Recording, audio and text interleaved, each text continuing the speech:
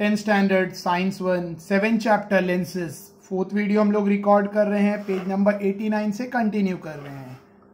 Apparent size of an object apparent size of an object की क्या है? तो बहुत सिंपल टॉपिक है। दो ऑब्जेक्ट है सपोज़ यहाँ पे P1, Q1, P और Q ये दो ऑब्जेक्ट है जिनका साइज़ सेम है बट एक आँखों से दूर है और दूसरा आँखों के करीब है। तो जो आँखों के करीब रहेगा उसका आँखों के साथ जो एंगल है वो ज़्यादा बनेगा, जिसकी वजह से जो नज़दीक वाला ऑब्जेक्ट है, बड़ा ही दिखाई देगा और दूर वाला ऑब्जेक्ट छोटा दिखाई देगा। दैट्स इट दो ऑब्जेक्ट सेम साइज़ के हैं, लेकिन जो आँखों के ज़्यादा करीब होता है, वो बड़ा दिखाई देता है और जो आँखों से जितना दूर होता है, उतना छोटा दिखाई देता है। सिंपल फॉर अंडरस्टैंडिंग अगर हम लोग यहाँ से मून को देखेंगे तो हमें मून एक फुटबॉल साइज़ दिखता है। बट रियलिटी में मून का साइज़ फुटबॉल से कहीं गुना ज़्यादा बड़ा है। तो फिर भी हमें यहाँ से फुटबॉल साइज़ क्यों दिखता है? डिस्टेंस की वजह से। ठीक है? जो ऑब्जेक्ट आँखों के करीब होता है लेट्स मी जूम इट ठीक है? जो ऑब्जेक्ट आँखों से आँखों से जितना ज़्यादा करीब होता है, उसका आँखों के साथ जो एंगल बनता है, ठीक है? आँखों के हॉरिजॉन के साथ जो एंगल फॉर्म होता है वो ऑब्जेक्ट का, वो बढ़ता जाएगा। जितना करीब होगा, उतना एंगल बढ़ेगा। जितना फार होगा ऑब्जेक्ट उतना उसका एंगल स्मॉलर होता जाएगा। देखो, यहाँ पे ये एंगल अल्फ़ा है अल्फ़ा एंगल ये अल्फ़ा और दूसरा ये जो दूर वाला ऑब्जेक्ट है पी डैश क्यू डैश वाला, उसका एंगल है बीटा तो अल्फ़ा बड़ा एंगल है बीटा स्मॉलर एंगल है। अल्फ़ा एंगल बड़ा इसलिए है क्योंकि ऑब्जेक्ट पी क्यू क्लोजर है, आँखों से आई से। और एंगल बीटा ये एंगल बीटा है। देखो मैं ब्लैक कर रहा हूँ। ये एंगल बीटा है और ये पूरा एंगल अल्फ़ा है। तो डोंट गेट कंफ्यूज इसको एंगल अल्फ़ा बोला गया है और ये एंगल बीटा है। सो एंगल अल्फ़ा ग्रेटर है, दिख रहा है। और एंगल बीटा स्मॉलर है। एंगल अल्फ़ा इसलिए ग्रेटर है क्योंकि ऑब्जेक्ट क्लोजर है। और एंगल बीटा इसलिए स्मॉलर है बिकॉज़ ऑब्जेक्ट फार अवे है। ठीक है? दोनों ऑब्जेक्ट सेम साइज़ के तो यहाँ पर वही अंडरस्टैंडिंग समझाने के लिए दिया हुआ है। Consider two object P Q and P dash Q dash having same size दोनों का साइज़ सेम है but kept at different distance from an eyes as shown in figure 7.15 लेकिन आँखों से दूर अलग अलग डिस्टेंस पे रखा हुआ है, जैसे फिगर में दिखाई दे रहा है। As the angle alpha subtended by P Q at the eyes is larger than angle beta subtended by P one Q one ठीक है? दोनों का अलग अलग डिस्टेंस पे रखा हुआ है। एंगल अल्फ़ा जो पी क्यू से बन रहा है, वो ज़्यादा बड़ा है as compare to angle beta जो पी वन क्यू वन से बन रहा है। Thus the apparent size of an object depends on the angle subtended by the object of the eyes तो लास्ट पॉइंट बाय करने वाला है क्या? यहाँ से यहाँ तक। क्या? The apparent size of an object depends on the angle subtended by an object at the eyes ठीक है? जो एंगल जितना एंगल सबटेंड होगा उसका साइज़ उतना बड़ा दिखेगा। ज़्यादा बड़ा एंगल सबटेंड हो रहा है तो बड़ा दिखेगा। एंगल कम सबटेंड हो रहा है तो छोटा दिखेगा। और राइट तो इसके लिए मैंने एक एग्ज़ाम्पल दिया कि मून को देख लो और मून को यहाँ से देख रहे हैं हम लोग अर्थ से तो हमें मून क्या दिख रहा है? साइज़ ऑफ़ अ फुटबॉल या उससे थोड़ा बड़ा। लेकिन जैसे ही हम लोग आगे बढ़ते जाएँगे बाय रॉकेट बाय स्पेस या बाय एरोप्लेन एक्सेट्रा हम जैसे जैसे मून को नज़दीक से देखेंगे, हमें मून बड़ा दिखाई देता जाएगा। ठीक है? क्यों बड़ा दिखाई दे रहा है? क्योंकि एंगल बढ़ रहा है। राइट सो सिंपल है। और ये घर पे भी कर सकते हो, दो पेन ले सकते हो सेम साइज़ का, एक को आँखों से करीब रखना है, एक को आँखों से दूर रखना है। तो जो आँखों के नज़दीक रहेगी, वो बड़ी दिखाई देगी, जो आँखों से दूर रहेगी स्मॉलर दिखाई देगी। Reason is this angle right so ये ऑब्जेक्टिव्स में पूछते हैं। दिस क्वेश्चन डस ये डिफाइन वगैरह में नहीं आता है but it comes for with for objectives MCQs में आता है, क्या रहेगा? The appearance sight of an object depends on dash dash तो ऑप्शन में रहेगा angle subtended by the object on the eyes फिर कुछ और ऐसे ऑप्शंस होंगे right next uses of concave lens बहुत इंपॉर्टेंट आंसर आंसर है। It comes for two two three marks दो मार्क्स के लिए आता है चार पॉइंट लिखने रहते हैं। यूजेज ऑफ़ कॉन्केव लेंस वैसे तो दो ही पॉइंट लिखने रहते हैं फिर भी मैं बच्चों को रिकमेंड करता हूँ कि चार पॉइंट्स करो ठीक है? बिकॉज़ दो पॉइंट कभी याद नहीं रहते और एक्स्ट्रा लिखना बेटर होता है कम लिखने से। सो so, इसलिए मैं हमेशा सजेस्ट करता हूँ कि चार पॉइंट्स करो at least there are five points four कर लो। यूजेज ऑफ़ कॉन्केव लेंस तीन तो एनी हाउ करना है। बिकॉज़ थ्री मार्क्स के लिए पूछा तो थ्री पॉइंट्स कंपलसरी है। और दो मार्क्स के लिए पूछा तो दो कंपलसरी है but right three four no problem concave lens का कहाँ कहाँ यूज़ होता है? तो मेडिकल इक्विपमेंट कहाँ यूज़ होता है फ़र्स्ट मेडिकल इक्विपमेंट में यूज़ होता है। स्कैनर जो स्कैनर्स होते हैं पेपर स्कैनर ले लो या बॉडी स्कैनर ऐसे सब जगह पर यूज़ होता है। इवन सीडी प्लेयर्स में भी कॉन्केव लेंस यूज़ होता है CD player right CD player देखो अभी थोड़ा सा चेंज हो गया है। सीडी प्लेयर बहुत रेयर हो गए हैं, ठीक है? क्योंकि अभी मोस्टली चीज़ें पेन ड्राइव से प्ले हो रही है तो भी फिर भी देर बहुत सारे उसमें डीवीडी प्लेयर्स मिलते हैं। तो सीडी प्लेयर डीवीडी प्लेयर की तरह ही होता है right this instrument uses laser light for proper working of this equipment concave lens are use right medical equipment equipment में स्कैनर में और सीडी प्लेयर में क्या यूज़ होती है? लेजर लाइट और इसके प्रॉपर वर्किंग के लिए क्या चाहिए? Concave lens second the peep hole in door दरवाजे में, दरवाजे के सेंटर में आजकल भी लगता है, आजकल तो कैमरा लगने लग गए हैं घरों के बाहर, वरना पहले डोर में पीपिंग पीपिंग लेंस लगते थे, ठीक है? दूरबीन भी कहते हैं।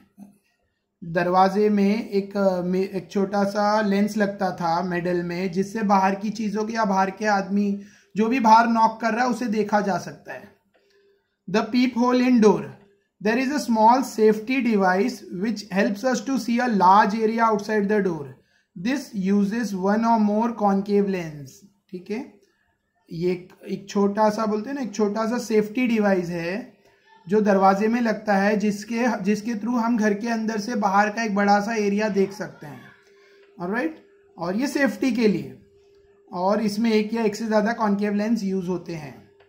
नेक्स्ट स्पेक्टेकल्स चश्मा, जिसको चश्मा, जिसको नज़दीक का दिखाई देता है, दूर का दिखाई नहीं देता, उनके लिए कॉन्केव लेंस का चश्मा लगता है, ठीक है? Spectacles concave lens are use in spectacle to correct near sightedness near sightedness मतलब नज़दीक का दिखाई देता है, दूर का दिखाई नहीं देता। ऐसे प्रॉब्लम को सॉल्व करने के लिए कौन सा चश्मा पहनाया जाता है? कॉनकेव लेंसेज का। तो थर्ड पॉइंट बहुत इजी है। सबको याद ही रहेगा चश्मा स्पेक्टिकल्स फोर्थ टॉर्च टॉर्च जो टॉर्च मतलब जो लाइट अंधेरे में यूज़ होती है, ठीक है? Torch concave lens is use to spread widely the light produce by small bulb inside a torch torch के अंदर जो छोटे सी बल्ब से लाइट प्रोड्यूस होती है, उसको दूर तक स्प्रेड करने के लिए कॉन्केव लेंस यूज़ होता है। Last camera, telescope and microscope. और कहाँ कहाँ यूज़ होता है? कैमरे में यूज़ होता है, टेलीस्कोप में, माइक्रोस्कोप में। This instruments mainly use convex lens to get good quality image a concave lens is use in front of eyepiece और इनसाइड इट देखो, ये सारे इंस्ट्रूमेंट में वैसे तो कॉन्वेक्स लेंस यूज़ होता है, लेकिन और अच्छे क्वालिटी के इमेज के लिए कॉन्केव लेंस आईपीस के आगे रहता है, ठीक है? आईपीस क्या है? आगे माइक्रोस्कोप टेलीस्कोप में देखेंगे आईपीस और ऑब्जेक्टिव क्या है। Next uses of convex lens uses of convex lens तो कॉन्वेक्स लेंस कहाँ कहाँ यूज़ होते हैं? सिंपल माइक्रोस्कोप में एक ही लेंस होता है, वो कॉन्वेक्स लेंस होता है, ठीक है?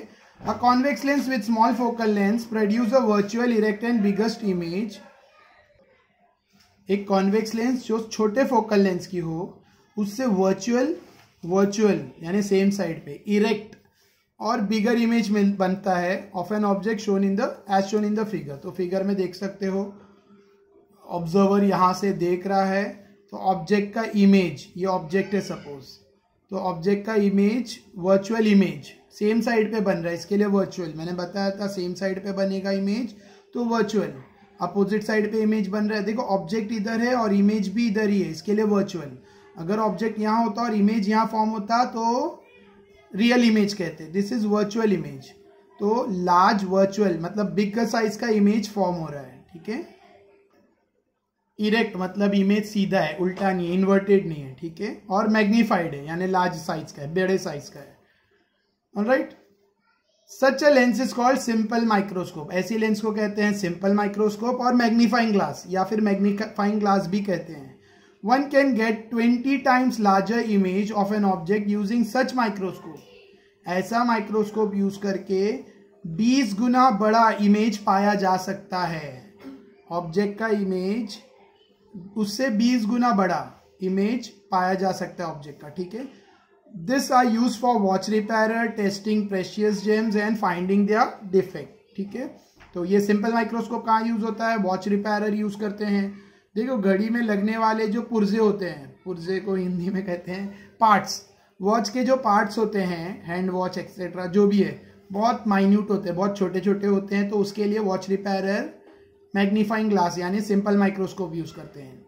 या फिर प्रेशियस जेम्स सुनार या जो भी है diamond smith gold smith etcetera वो लोग भी ये यूज़ करके क्वालिटी चेक करते हैं, ठीक है? प्रेशियस चीज़ों की।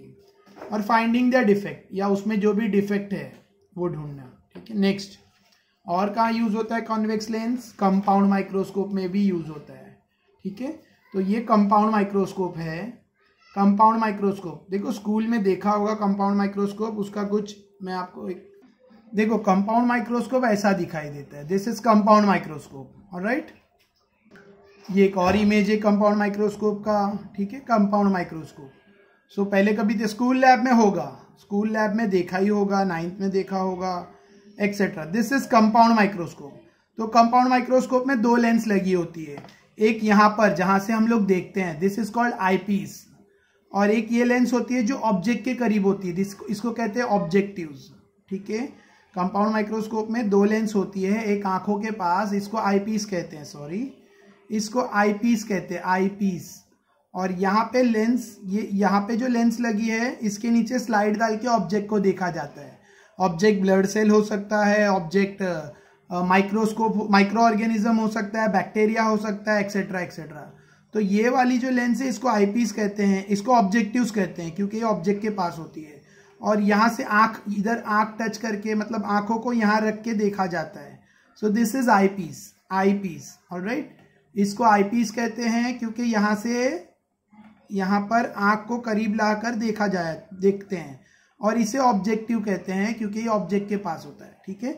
अब ये डायग्राम कंपाउंड माइक्रोस्कोप का टेक्स्ट बुक में ऐसे फॉर्म में है right so this is compound microscope यहाँ पे हमारी आँखें रहेगी, हम यहाँ से देखेंगे। तो दिस इज़ आई पीस और ये वाली लेंस ऑब्जेक्ट के पास होगी, यहाँ पे ऑब्जेक्ट होगा। This is objective objective eye piece दो लेंस होती है।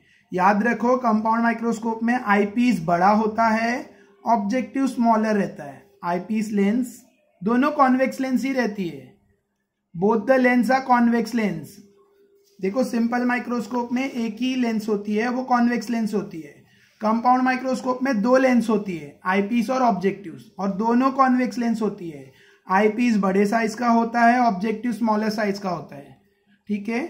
और this is telescope telescope telescope में भी दो लेंसेज होती हैं, दोनों कॉन्वेक्स लेंस होती है।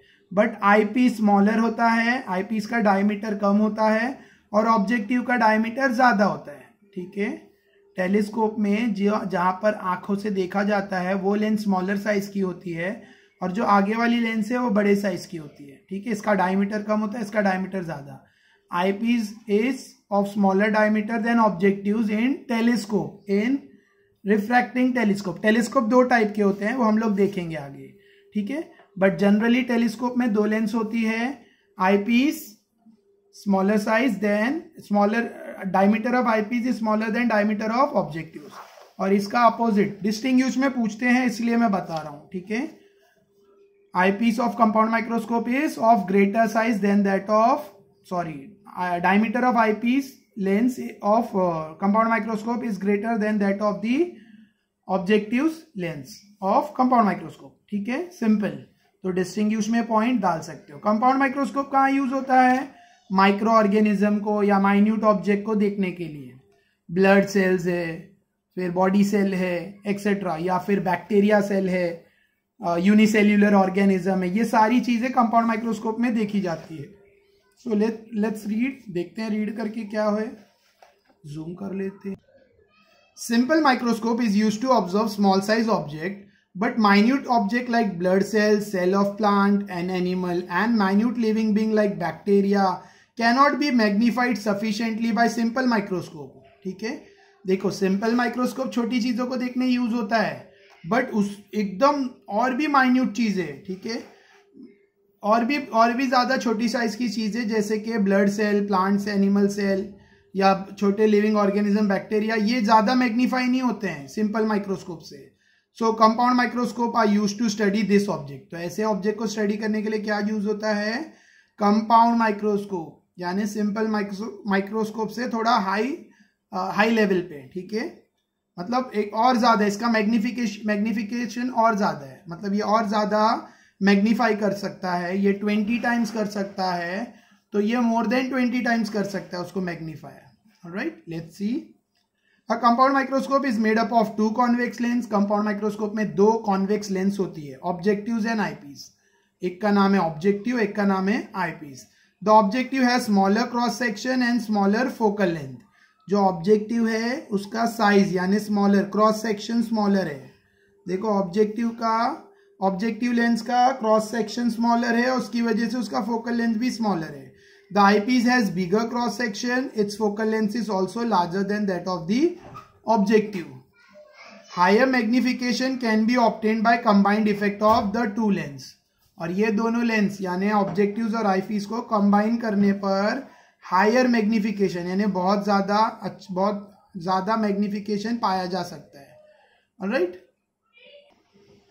next as shown in figure 7.17 the magnification occurs in two stage देखो, जैसा कि फिगर में दिया है, मैं अभी फिगर बताऊँगा। इसमें मैग्निफिकेशन दो स्टेज में मतलब दो स्टेप्स में होता है। The image form by the first lens act as an object for the second lens देखो फ़र्स्ट लेंस से जो इमेज फॉर्म हो रहा है फ़र्स्ट लेंस ये फ़र्स्ट लेंस है, ये ऑब्जेक्ट है। तो ऑब्जेक्ट का जो इमेज फॉर्म हो रहा है फ़र्स्ट लेंस से, यहाँ पे ये ऑब्जेक्ट है और इसका इमेज यहाँ फॉर्म हुआ। इन्वर्टेड रियल इमेज ये सेकेंड लेंस के लिए ऑब्जेक्ट है। ठीक है? इसका रियल ऑब्जेक्ट ये है, इसका इमेज ये वाली लेंस के लिए ऑब्जेक्ट का काम करता है और ये वाली लेंस का इमेज फिर यहाँ बनता है। एक मैग्नीफाइड इमेज बनता है। ऑब्जेक्ट रियल में ये है, उसका एक इमेज ट्यूब के अंदर फॉर्म होगा। देखो, ये मेटल की ट्यूब में रहती है, पूरी लेंस मेटालिक ट्यूब में होती है। ठीक है? तो ऑब्जेक्ट का इमेज फॉर्म हुआ। और ये इमेज आई पीस के लिए ऑब्जेक्ट का काम करेगा और आई पीस का ये इमेज फॉर्म होगा, जो बहुत मैग्नीफाइड रहेगा। ठीक है? यहाँ पे भी इमेज रियल और इन्वर्टेड आएगा। ये वाला इमेज ये वाले लेंस के लिए ये रियल और इन्वर्टेड है फ़र्स्ट इमेज ठीक है? और आई पीस के लिए ये इमेज इन्वर्टेड है बट वर्चुअल है। ये वाला इमेज सॉरी ऑब्जेक्ट और image all right so eyepiece के लिए क्योंकि ये इन्वर्टेड ऑब्जेक्ट है, इसके लिए इमेज भी इन्वर्टेड आ रहा है। राइट और वर्चुअल वर्चुअल मतलब सेम साइड पे आएगा। तो वो सब नहीं लिखना है डोंट वरी हमें वो सब नहीं लिखना है, सिर्फ़ इतना ही लिखना है object for first lens act as a image for of first lens image image obtained first lens act as an object for second lens सिर्फ़ इतना ही लिखना है। और ये सब नहीं लिखना है, ज़्यादा डिटेल उसमें नहीं है, बस इतना ही है। The image form by the first lens act as an object for the second lens the axes of both length are along the same line दोनों लाइन दोनों लेंस का जो एक्सेस है, ठीक है प्रिंसिपल एक्सेस वो सेम है, ठीक है? The lenses are fitted inside a metallic tube in such a way that the distance between can be change और और लेंसेज मेटालिक ट्यूब में फिट की गई है कुछ इस तरीके से कि उनका डिस्टेंस ये डिस्टेंस ये डिस्टेंस चेंज किया जा सकता है। मतलब इनको आगे पीछे किया जा सकता है। डिस्टेंस एडजस्टेबल होता है। ये दोनों के बीच में जो डिस्टेंस है, वो कम ज़्यादा हो सकता है। नेक्स्ट टेलीस्कोप टेलीस्कोप क्या है? Telescope is use to see distance object clearly in the magnified form दूर का ऑब्जेक्ट नज़दीक और मैग्नीफाइड फॉर्म में देखने के लिए टेलीस्कोप ठीक है? देखो, ये छोटे ऑब्जेक्ट को बड़ा देखने के लिए कंपाउंड माइक्रोस्कोप या सिंपल माइक्रोस्कोप छोटे ऑब्जेक्ट को बड़ा देखने के लिए माइक्रोस्कोप और दूर के ऑब्जेक्ट को नज़दीक देखने के लिए, ठीक है टेलीस्कोप तो ये एक डिस्टिंग का पॉइंट है. Telescope is use to see distant distant object clearly in a magnified form magnification इसमें भी होता है बट दूर का ऑब्जेक्ट देखने के लिए.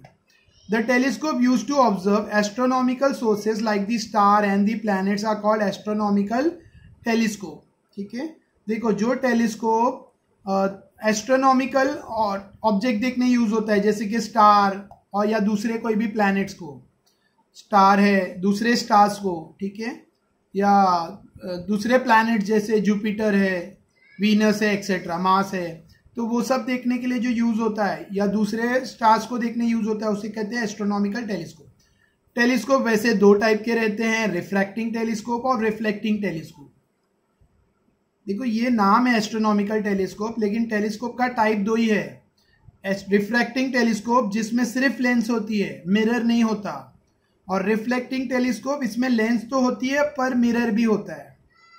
लेंस के साथ साथ इसमें दो लेंस होती है, और इसमें भी दो लेंस होती है बट दो लेंस के साथ एक मिरर भी रहेगा। ठीक है? ऑल राइट तो रिफ्रैक्टिंग टेलीस्कोप जिसमें सिर्फ़ लेंस होगी। रिफ्लेक्टिंग टेलीस्कोप जिसमें मिरर और लेंस दोनों रहेगा। सिंपल याद रखना both of this the image form by the objective as a act as a object for the eyepiece which forms the final image. Objective's length can uh, lens has larger diameter and larger focal length. देखो objective lens का cross section यानी diameter ज़्यादा रहता है और focal length भी ज़्यादा रहता है because of which maximum amount of light comes from the distance object can be collected ताकि दूर से आने वाली ज़्यादा से ज़्यादा लाइट उसमें जमा हो राइट ऑब्जेक्टिव का जो ऑब्जेक्टिव uh, लेंस का जो क्रॉस सेक्शन है यानी डायमीटर वो ग्रेटर रहता है टेलीस्कोप में टेलीस्कोप में ठीक है? और आई पीस का डायमीटर यानी क्रॉस सेक्शन कम होता है। इसका डायमीटर और इसका फोकल लेंथ दोनों ज़्यादा होता है आई पीस से। On the other hand on the other hand the size of eyepiece is smaller than its focal length दूसरी जगह दूसरे उसी तरह से आई पीस का साइज़ आई पीस का डायमीटर और फोकल लेंथ कम होता है, ठीक है? Both the lenses are fitted inside a metallic tube in such a way that the distance between them can be changed. दोनों मेटालिक ट्यूब में लगा रहता है, कुछ इस तरीके से कि उनका ये जो डिस्टेंस है, इन दोनों के बीच का डिस्टेंस कम ज़्यादा हो सकता है, ठीक है? ट्यूब में लगा रहता है और इसको कम या ज़्यादा कर सकते हैं डिस्टेंस इसमें भी सेम चीज़ होती है, जो लाइट ऑब्जेक्टिव से आ रही है, जो ऑब्जेक्ट से लाइट आ रही है उसका इमेज पहले बनेगा आईपीस के आगे और फिर आईपीस से वो मैग्नीफाई होके दिखाई देगा। राइट सपोज़ uh, कोई दूसरे प्लैनेट से लाइट आ रही है तो लाइट उसका इमेज अंदर फॉर्म होगा ठीक है? ऑब्जेक्ट है जैसे मून है मून को देखा जा रहा है टेलीस्कोप से। तो मून ऑब्जेक्ट है तो उसका इमेज यहाँ पे फॉर्म होगा और फिर वो आई पीस वाली लेंस से मैग्नीफाइड होगा। तो ये ऑब्जेक्ट इसका ये ऑब्जेक्ट का इमेज यहाँ बनेगा और ये इमेज ये वाले लेंस के लिए ऑब्जेक्ट रहेगा राइट जैसा कि माइक्रोस्कोप में था same property but sorry the principal axis of both the lens are along the same straight line दोनों का principal axis same straight line में रहेगा. Generally using the same objective but different eyepiece objective same रहेगा but अलग अलग eyepiece different magnification can be opted objective को same रखा जाएगा। ऑब्जेक्टिव को सेम रखेंगे बट आईपीस अलग अलग लगाएँगे ताकि अलग अलग मैग्निफिकेशन मतलब आईपीस चेंज करके अलग अलग मैग्निफिकेशन पाया जा सकता है। Right next is optical instruments convex lens uh use तो तीन यूज़ तो हमने देख लिए। एक तो सिंपल माइक्रोस्कोप में यूज़ होता है कॉन्वेक्स लेंस एक कंपाउंड माइक्रोस्कोप में कॉन्वेक्स लेंस यूज़ होता है और थर्ड यूज़ था टेलीस्कोप में भी कॉन्वेक्स लेंस यूज़ होता है। फोर्थ यूज़ कॉन्वेक्स लेंस का फोर्थ यूज़ है ऑप्टिकल इंस्ट्रूमेंट में भी कॉन्वेक्स लेंस यूज़ होता है। Convex lens are used in various other optical instrument like camera, projector, spectrograph etcetera तो ये सब जगह पर भी प्रोजेक्टर में कैमरा में स्पेक्टोग्राफ में भी कॉन्वेक्स लेंस यूज़ होता है। कैमरा पता ही होगा प्रोजेक्टर भी पता होगा। स्पेक्टोग्राफ स्पेक्ट्रम में यूज़ होता है। स्पेक्टोग्राफ स्पेक्ट्रम के लिए। स्पेक्ट्रम की जो लाइट को कन्वर्ज करने के लिए स्पेक्टोग्राफ ठीक है? स्पेक्ट्रोग्राम एक डिवाइस है स्पेक्ट्रोग्राफ जो स्पेक्ट्रम के से डील करता है। स्पेक्ट्रम जो हमने प्रिज्म में पढ़ा था सेवन कलर्स ऑफ़ बैंड ठीक है? Red violet indigo blue orange वो सब। वो स्पेक्ट्रम ऑफ़ लाइट है। जो लाइट चैप्टर में पढ़ा था स्पेक्ट्रम ऑफ़ लाइट प्रिज्म से जो मिलता है। इसका फिफ्थ यूज़ है स्पेक्टिकल्स स्पेक्टिकल्स तो पता है चश्मा, ठीक है? चश्मे में यूज़ होता है। फासाइटेडनेस यानी नज़दीक का जिनको नहीं दिखाई देता है बराबर, और दूर का प्रॉपर दिखता है, उनके लिए कॉन्वेक्स लेंस का स्पेक्टिकल यूज़ होता है चश्मा, ठीक है? नेक्स्ट अच्छा एक persistence next topic is persistence of vision तो सिंपल समझा देता हूँ। ये करके देख सकते हैं, या फिर दिवाली में देखा होगा। देखो, दिवाली में वो बर्निंग स्टिक वो उसको क्या कहते हैं, सुरसुरी। सुरसुरी जलाकर अगर आप गोल गोल घुमाओगे तो आपको रिंग दिखने लगती है। सुरसुरी जो लाइट है वो स्टिक है बर्निंग स्टिक उसको आप जला के या कोई भी आप अगरबत्ती ले लो, ठीक है? अगरबत्ती ले लो या कोई भी लकड़ी को आप जलाओ और उसको आप गोल गोल घुमाओ।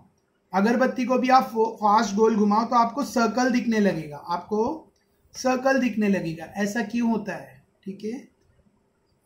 वैसे तो वो जो स्टिक है, उसके आगे आग लगी है रेड कलर की तो वो तो डॉट है मतलब वो तो पॉइंट सोर्स है। उसको पॉइंट सोर्स ऑफ़ लाइट कहते हैं, लेकिन अगर उसको फास्ट घुमाया जाए तो सर्कल दिखने लगता है।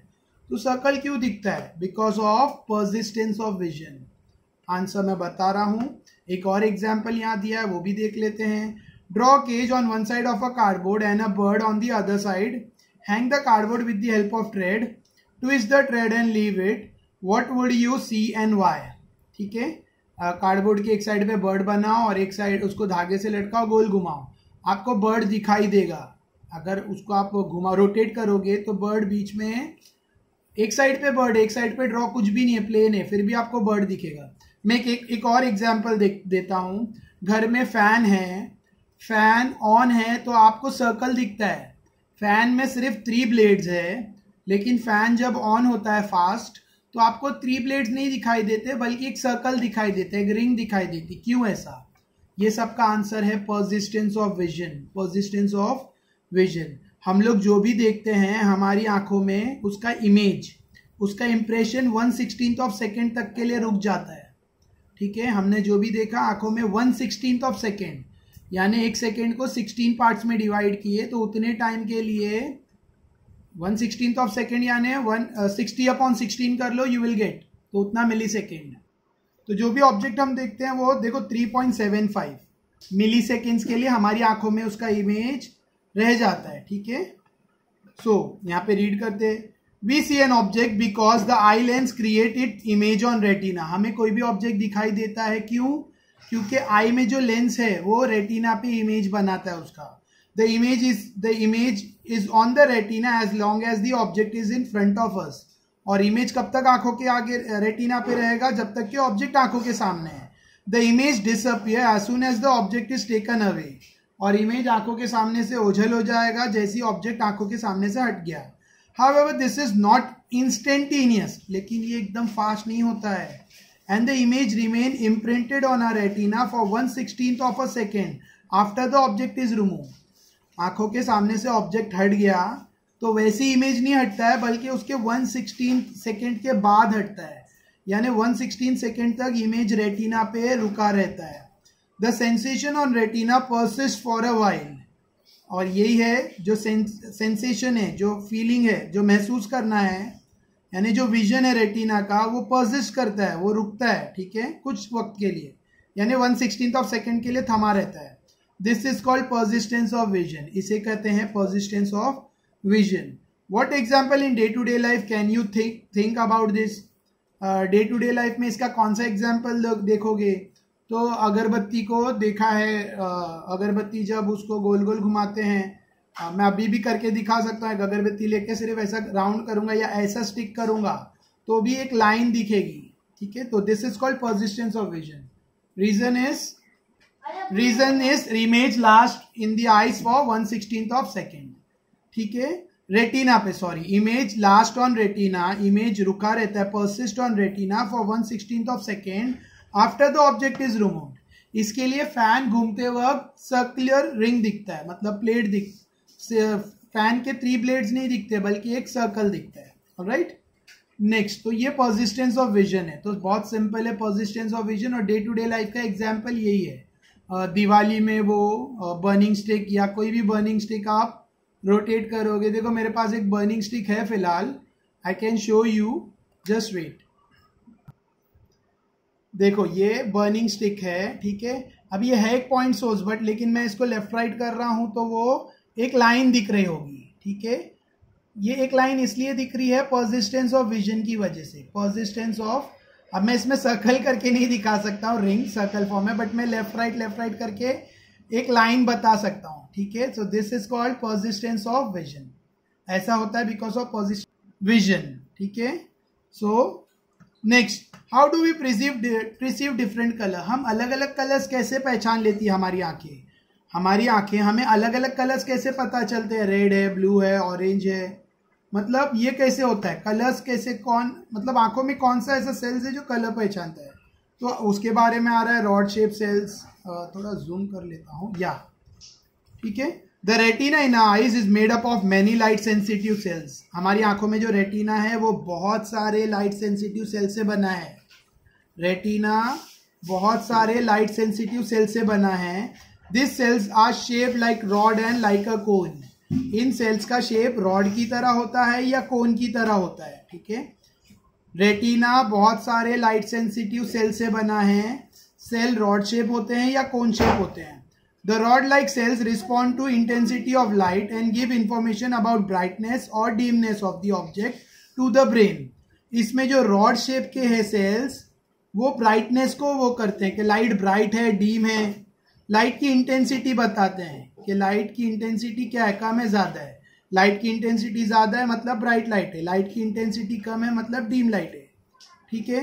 The conical cells respond to colours and give information about the colour of the object to the brain. तो रॉड शेप, इंटेंसिटी यानी ब्राइटनेस, डीमनेस का इंफॉर्मेशन देते हैं ब्रेन को और conical cells conical cells colour का इंफॉर्मेशन देते हैं ब्रेन को।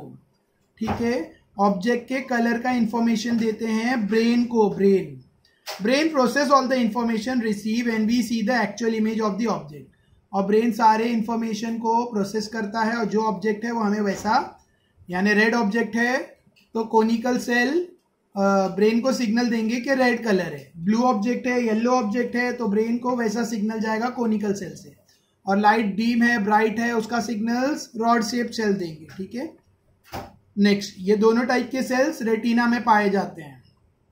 Rod like cells respond to faint light also but conical cell do not फिर जो फेंट लाइट होती है, देखो फेंट लाइट मतलब अच्छा ये बताने से पहले इतना, अगर वीडियो अच्छा लग रहा हो तो शेयर करो। शेयर करो वीडियो अपने सारे फ्रेंड्स के साथ, ठीक है? अपने जितने भी तुम्हारे टेंथ के दोस्त हैं, उनके साथ वीडियो को शेयर करो। वीडियो बहुत अच्छा लग रहा है तो चैनल को सब्सक्राइब कर लो। और बेल आइकन भी प्रेस करो, अधूरा काम मत करो। बेल आइकन इसके लिए ताकि अगला वीडियो आती है नोटिफिकेशन मिले। ठीक है? और वीडियो और और बहुत अच्छा लग रहा है, और ज़्यादा अच्छा लग रहा है तो लाइक भी प्रेस कर दो। लाइक लाइक बटन भी प्रेस कर दो, ठीक है? बट ये सब करने से पहले शेयर ज़रूर करो। अच्छा फेंटनेस मतलब डीमनेस ठीक है? Rod like rod like cells dim light को भी रिस्पॉन्ड करती है, लेकिन कोनिकल सेल नहीं, ठीक है? देखो डीम लाइट में सारी चीज़ें मतलब डिफरेंट डिफरेंट कलर्स सारे ब्लैक ही दिखते हैं, सारे ग्रे ही दिखते हैं।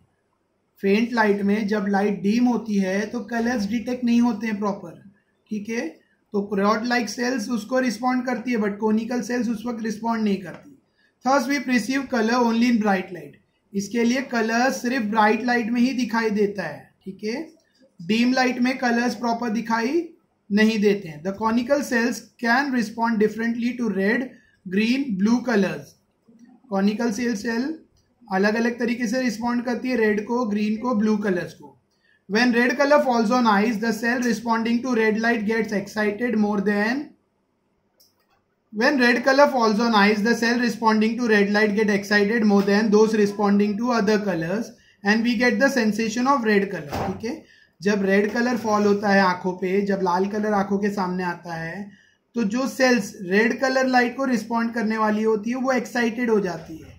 ठीक है? वो एक्टिव हो जाती है। वो एक्टिवेट हो जाती है और इसके लिए हमें रेड कलर रिस्पॉन्ड मतलब हमें रेड कलर का सेंसेशन होता है कि रेड कलर है फील होता है। Some people lack conical cell responding to certain वैसे ही एग्ज़ाम्पल ब्लू कलर और ग्रीन कलर अलग अलग कलर्स के लिए। जो कलर की लाइट गिरती है वो वाले सेल एक्साइटेड होते हैं। ब्लू के लिए ब्लू कलर के जो लाइट कोनिकल सेल्स है, ठीक है एक्सेट्रा अच्छा कुछ लोगों के अंदर डिफेक्ट होता है प्रॉब्लम होती है। कुछ लोगों के अंदर कोनिकल सेल्स की कमी होती है लैक लैक मतलब कमी। कोनिकल सेल्स की कुछ लोगों में कमी होती है सर्टन कलर्स को लेकर। मतलब किसी को ब्लू कलर को, इसको कलर ब्लाइंड भी कहते हैं। कुछ लोग ब्लू कलर ब्लाइंड होते हैं, कुछ लोग ग्रीन कलर ब्लाइंड होते हैं। कुछ लोग रेड कलर ब्लाइंड होते हैं। मतलब उनको रेड कलर रेड नहीं दिखाई देता है ब्लैक ही दिखाई देता है।